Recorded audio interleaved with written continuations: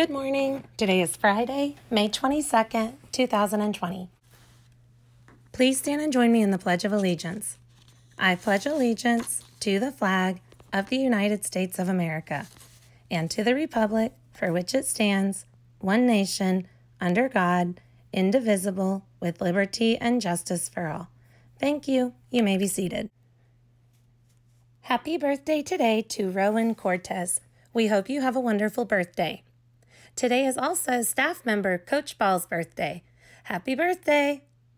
I'd like to wish a happy early birthday on Saturday to Natalia Hernandez. We hope you have a wonderful birthday.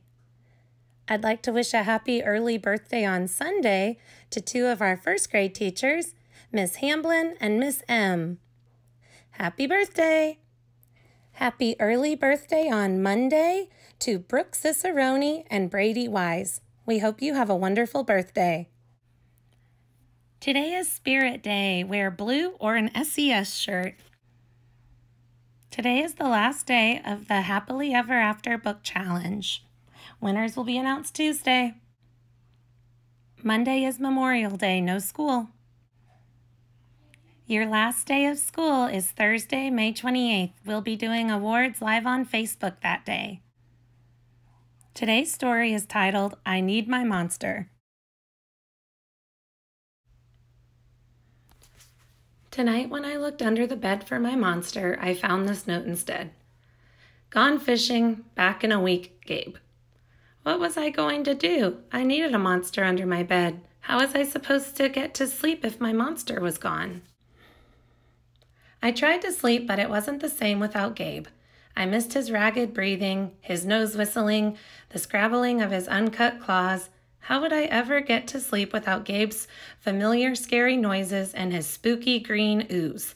It was no use. Gabe would be gone for a week, and I just had to have a monster. I climbed quietly out of bed so my parents wouldn't hear me.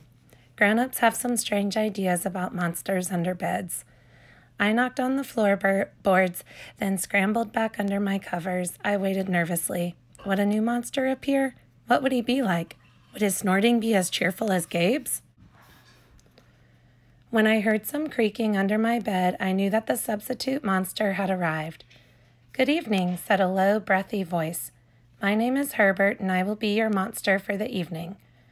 Herbert? What kind of name is that for a monster? You don't sound scary at all. Have you ever scared a kid before?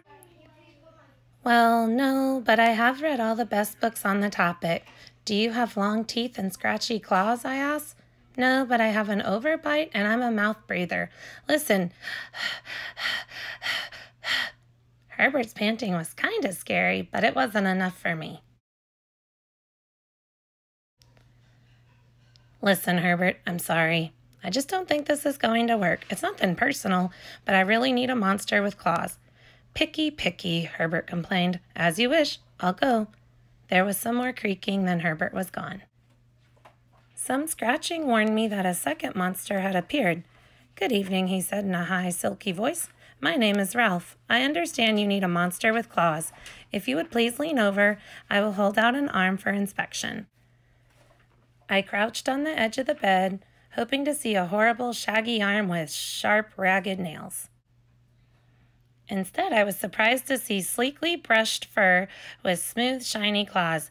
Excuse me, I don't mean to be rude, I asked, but is that nail polish on your claws? Yes, it is, Ralph replied. Replied, I believe professional monsters should always be well groomed. I could tell that this was not going to work either. I'm sorry to disappoint you, Ralph, but I need a monster with scary claws. Like Gabe's, I thought. I heard some more scratching and I knew Ralph was gone. Shh.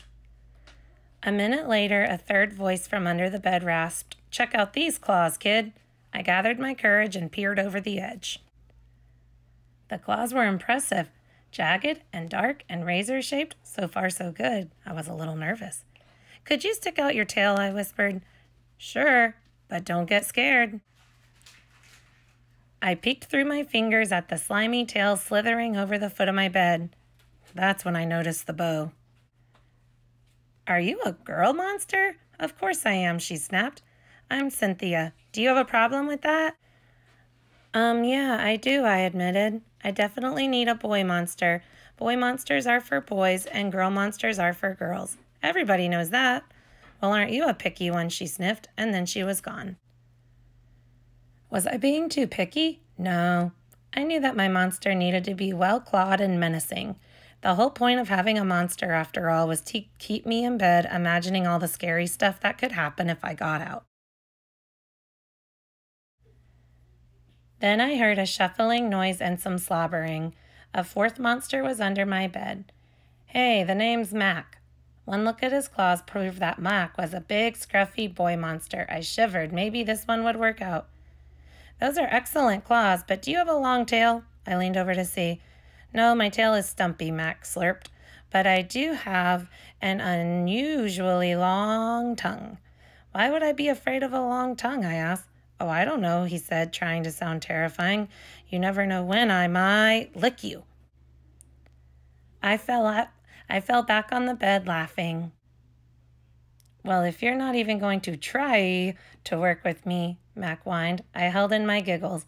I really don't think you should send me away, he warned. Kids, kids who reject five monsters in one night. I did not reject five monsters tonight, I interrupted. My regular monster went fishing. Fishing, eh? Maybe he just left because you're so picky. Fine, I'm out of here, but I wouldn't expect another monster tonight if I were you. How was I ever going to get to sleep without my monster? I was surprised to hear more creaking under the bed. Loud creaking was scratching. I, I thought no more monsters were going to appear tonight, I said. Sorry I'm late, kid. Phew, it was Gabe. I thought I would enjoy fishing, but I didn't, he explained. Those fish scare too easily. No challenge at all. You, however, are challenging, my friend. You're almost too too old to be afraid of monsters. You keep me on my toes. Ah, toes, a delicious snack. The bed quivered as Gabe's stomach rumbled with hunger. Now, if you don't mind, I'd like to start the evening with an ominous puddle of drool. I peeked over the edge of the bed. Green ooze spread soundlessly from underneath. Then the bed trembled as Gabe unfurled his spiked tail. He was daring me to guess where he might pop up. I shivered. So you had some substitute monsters tonight, Gabe said, sharpening his claws on my bedpost. Were you scared? Then Gabe started tapping. I could tell he wanted to know if I needed him. No other monster can scare me like you, I giggled, diving under my covers and pulling them up tight. Through the blanket, I heard Gabe's soft, comforting snorts. Ha, I knew it. We're made for each other, he growled. When my blanket started to slip off the bed, I knew Gabe was ready to eat. Now, if you could please stick out your foot, he said, I'd like to nibble your pinky. I yanked my blanket back up and scrunched my feet in so Gabe couldn't get them. No toes tonight, but you can have this, I offered, pushing a pillow off the bed. I didn't even hear it hit the floor. Gabe was back. The ooze was perfect. Everything was back to normal. I shivered again. I'd be asleep in no time. The end. Thank you for reading with me. The AR quiz number is 130382. Here's to a happy Friday and a great long weekend. See you Tuesday.